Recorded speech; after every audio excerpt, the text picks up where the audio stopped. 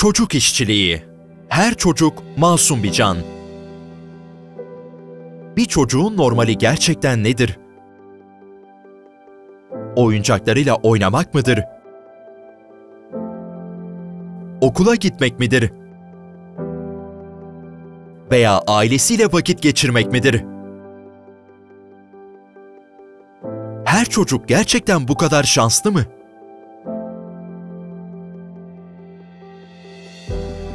Gelin buna birlikte karar verelim.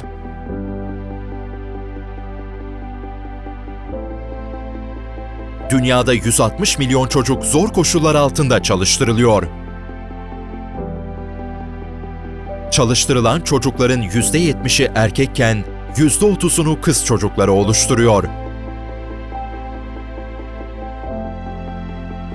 Ülkelere göz attığımızda Hindistan, Çin, Nijerya, Bangladeş ve Pakistan en fazla çocuk işçiye sahiptir. Sektör dağılımlarına baktığımızda ise %74 tarım, %54 tekstil ve %16 inşaat yer almaktadır. 2018'den günümüze kadar grafikler incelendiğinde çocuk işçi sayısında azalma görülmektedir. Oranlar azalıyor ancak yine de bitmiyor.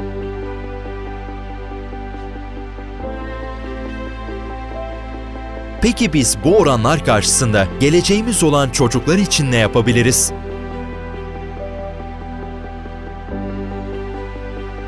Öncelikle çocukların eğitimine destek sağlayarak yaşayacakları güzel bir gelecek için onlara eşlik edebiliriz. Bunun beraberinde ihtiyaç sahibi olan aileler ve çocukları için maddi manevi bağış yaparak onlara destek olabiliriz. Bu desteklerden bize uygun olanı seçip ülkemizde ve dünyada yer alan yardım kuruluşlarının aracılığıyla çocuklara katkıda bulunabiliriz. Geleceğin umudu olan çocuklar için hep beraber el ele.